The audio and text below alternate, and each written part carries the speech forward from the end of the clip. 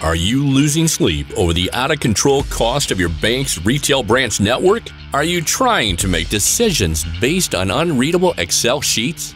Get answers that you can see instantly with Business Intelligence or BI Analytics from the lab. Here's an actual dashboard. All you do is click. Each dot is a branch.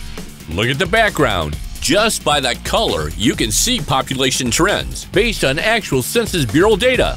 Green is growing, red is declining. Simple as that. Look, two locations right next to each other in a low growth area.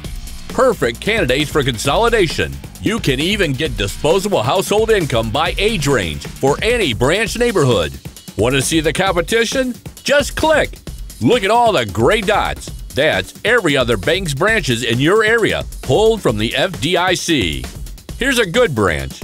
Not much competition nearby and it's in a high growth area that's green. And here's a weak branch in a red, declining population area with several competitors right nearby. Looking to expand into a new area? Those are the yellow dots. You can pick locations and see how they fare.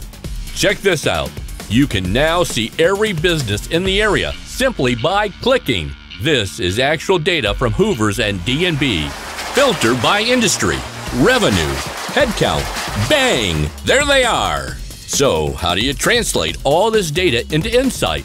Combine the map data with your internal branch data, accounts, transactions, deposits, loans, and here is that data.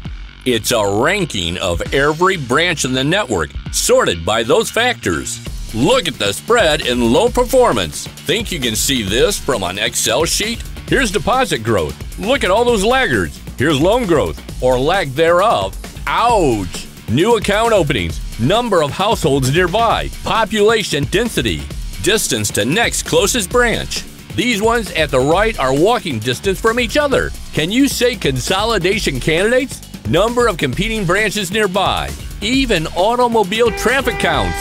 Now, Combine the external map data with the internal performance data, and you get unarguable scorecards, which rank every branch in your network. Get composite scores by branch performance, market potential, and then those two scores combined for an overall composite score, the holy grail of network optimization.